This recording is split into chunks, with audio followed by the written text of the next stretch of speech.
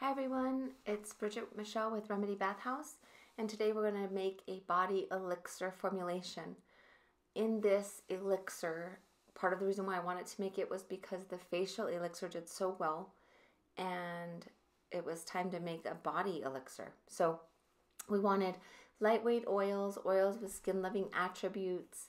We used um, MCT oil, grapeseed oil, uh, hemp seed oil, sunflower oil, apricot oil, isopropyl myristate, rice bran oil, vitamin A, and vitamin E. So to start, um, what we want to do is, of course, sanitize everything. So we washed all the equipment in Clorox and a soapy solution and allowed them to dry, and then we wiped down all the equipment with alcohol. So with these ingredients, um, the first thing that I am putting in here is the MCT oil.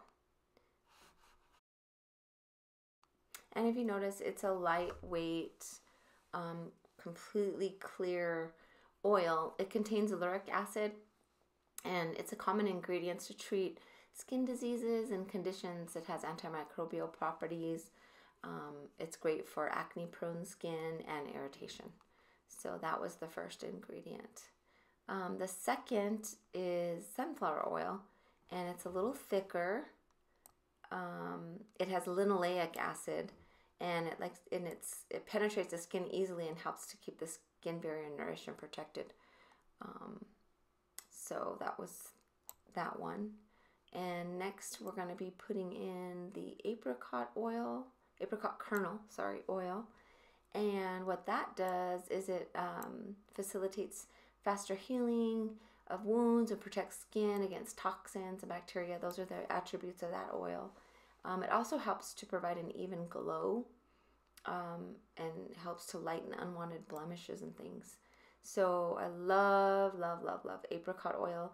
I had a friend um, who told me she was an Armenian and I lost her this last year and I was really upset by that. But um, this friend was Armenian and she said that once a year, what they did in Armenia was they would take a, them to a place, people annually to a place to get massages and to relax, to take heat baths, um, and they would eat, of course, very well and things. And part of what they would eat to help fight cancers is the inside of an apricot kernel or apricot seed, and inside looks like a little almond, and um, it's supposed to be a cancer fighter. So. The next ingredient is rice bran oil. And rice bran oil it was used for centuries in Japan. It's a clean, uh, it's an ingredient that's used in toners, bathing powders. It helps to soothe, smooth, and help uh, to provide suppleness to skin. So it's nice and gentle, and it's extracted from the rice bran. Um, it's supposed to also reduce the signs of aging, soothe, hydrate, and protect. So that is rice bran oil. So it's really a versatile oil, and I really, really, really love rice bran oil. Um, I've been using it a lot in my soaps and things. It's a really versatile oil. Um, the next thing was is grapeseed oil, and grapeseed oil um, can moisturize dull, dehydrated skin. It uh, also helps to even out skin tone. It's supposed to reduce fine lines and wrinkles, high in vitamin E and linoleic acid as well. It helps to restore uh, elasticity and things of that nature. So that was the next ingredient. So now we have coming up here hemp oil, and that's that really green, green oil that's going in next. And this oil is supposed to help um, treat inflammation in skin conditions such as eczema and psoriasis, acne scarring, and it's supposed to help with really dry skin. Look at that color. That just infiltrates everything. So that is hemp oil. And I'm loving hemp oil right now. It's a really fast absorbing oil. Um, and I just wanted to use it in um, this elixir because it just has really great properties. Um, and it's, you know, right now all the rage for sure. So I'm just kind of showing you the green color and swishing that around together so you get to see that. So next ingredient is the vitamin E. And vitamin E is a fat soluble vitamin. It acts as an antioxidant, not just for our skin. It acts as an antioxidant to the other oils that we put here in this elixir. And it helps protect scales, uh, skin cells from damage, and it's found in sebum, um, which is your skin oil, and it creates a natural barrier to keep moisture in your skin. So the very last ingredient that I'm going to be adding after I do a little swish swoosh, um, just mixing those oils together. Um, I want every oil incorporated. And right now, actually, isopropyl myristate is what I'm putting in. And all that isopropyl myristate is doing is it helps your skin absorb these oils. So I'm using a lot of plant oils. And what you'll find commercially on the market is that people don't use a lot of plant oils. And part of the reason why they don't is because it's hard to keep them on the shelf for a long period of time. So, you know, Revlon, they make 5 million units of something. Um, they're not going to use a lot of plant oils because it's going to stay on the shelf for a couple of years and things break down. I don't make 5 million units, so I make a lot less. And because I do, I, I want to use a lot of plant oils in my products. So lastly, we're adding the vitamin A and um, vitamin A is great for improving the appearance of wrinkles. It's great for to help sagging skin, reducing hyperpigmentation, uh, reducing sun damage, and um, I tried to use the pipette there, but this oil is really thick, and so I had to change up how I was using it there. So I'm measuring it out, and there's some pretty strict guidelines on how much you can use, and you actually cannot use a lot of it. So um, I was limited on how much vitamin A I could use in this formulation. So that vitamin A went in there. And again, I'm I don't mass produce my products. I produce them on a small scale. So um, I'm able to use a lot of plant oils. And a lot of companies, like I said, they use esters and um, they use a lot of things in um, silicones and things to help.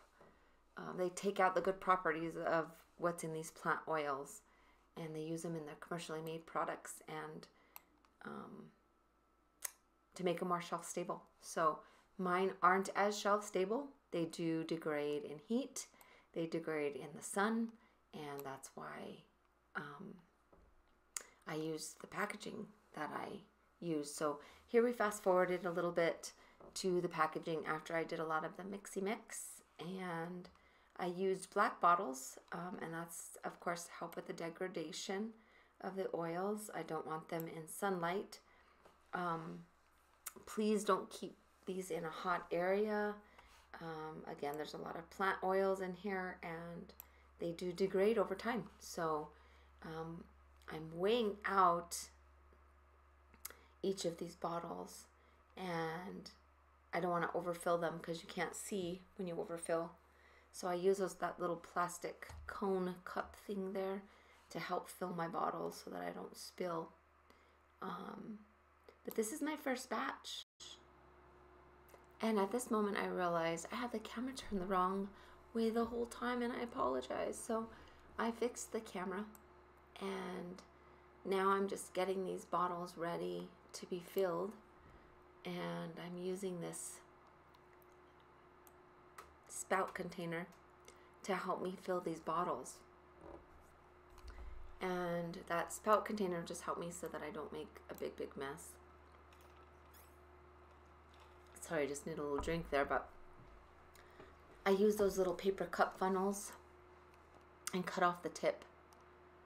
And you know, I just throw it out. I don't have to wash dish so many dishes, and it's paper, and those are mostly plant oils, so I figure I'm doing okay. Really sorry guys, I have this cold and I keep coughing and it's driving me absolutely bananas. And I know I'll get through it, but that's why my voice is a little shaky and raspy and it's just not fun. Anyway, so I'm spraying here um, some alcohol and a paper towel and just cleaning the edges before I put my pumps. And I was going to use a different topper on these containers. Now, I did use that paper funnel um, spout or paper thingy to help fill my bottle. So I don't have a lot of oil on there, but sometimes you get a drip or two. And so I'm just making sure they're cleaned off really good. And um, I just use that in that spritzer bottle. There's alcohol. And so I just am, you know, double checking, making sure everything's nice and clean. So on these bottles, the pumps were a little bit long, and so I had to um, trim the tip. And so basically I'm just using some um, shears to trim the tip. And I cut these at an angle, um, just like they come, uh, but I had to trim them to make them fit. So I just kind of wanted to explain how to use this body elixir um, basically um, it's a combination of lightweight oils that are silky and fast absorbing and uh, they feel smooth to the skin. They're meant to soothe, protect, and nourish. They're to be used on wet skin directly after a bath or shower, and they're just an added treatment of oil. And you can follow with body milk or creamy moisturizer after application, or you can just use that. And after you apply to the wet skin, then you towel dry and that's it. Now you can use on dry skin, but it's going to be oily because these are a lot of plant-based oils, and so it will be oily. So um, it's it's formulated for all skin types. Um, the attributes are used. Um, the attributes of each oil are used for calming irritation, to protect the skin barrier, to help facilitate uh, faster healing, com combat dehydration, it's high in antioxidants, and I basically made it to balance the skin, you know, and basically I would like it to also restore even skin tone with daily use. So here they are, finished up um, in the black bottles without the labels. And again, I use online labels, and I'll show you here just in a moment um, those bottles labeled, but um, here they are body elixir. Here's some photos that I have on I found on Canva that I'll be probably using when I um, market this product.